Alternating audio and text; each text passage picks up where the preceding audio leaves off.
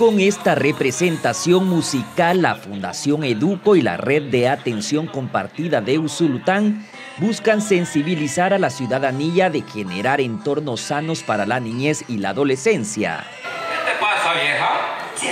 fíjate que ayer le di un abrazo a Juancito. ¿El qué decís? ¡Un abrazo! Todo es parte de la campaña Buen Trato y Disciplina Positiva Viviendo Mis Derechos en Familia. Fue lanzada en el municipio de Tecapán. La comunidad Buen Trato a nivel de los niños y las niñas. Tenemos un lema ese día, 365 días de buen trato.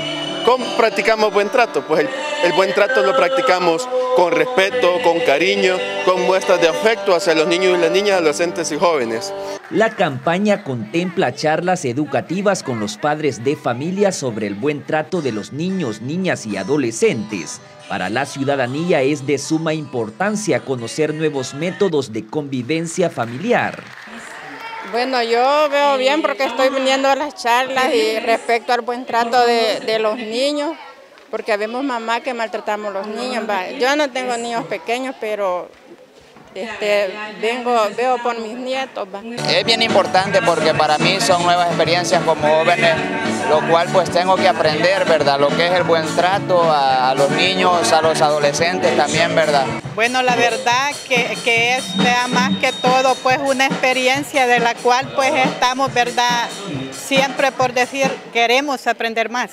En la iniciativa también participan las autoridades municipales, quienes le apuestan al trabajo en favor de la niñez. Hay representación de todas las instituciones del municipio.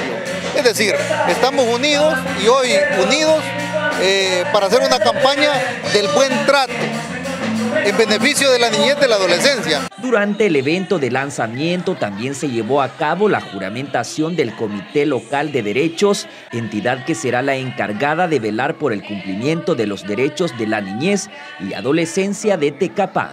Muchas gracias y quedan legalmente juramentados.